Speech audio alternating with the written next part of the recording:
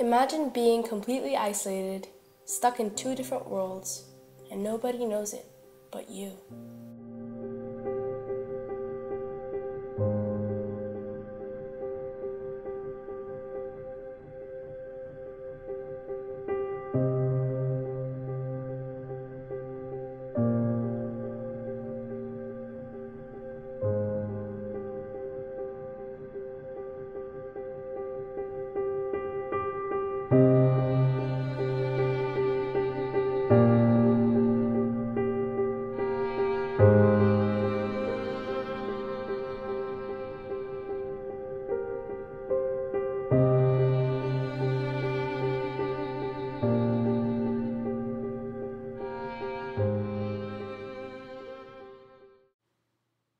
Wait.